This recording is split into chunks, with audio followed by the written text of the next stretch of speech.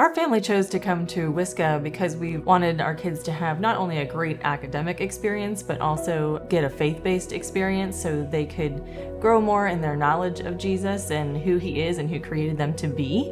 It's very much an academic based school, but I, I, there's so much more to it. They're far more advanced in their faith.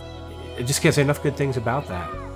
I'd say one of the biggest pieces that has resonated with me is the community that the that the school offers. They're learning not only to, you know, how to do math, English and read and those sorts of things, but they're learning how to be kind, they're learning how to care for others, they're learning how to pray for others.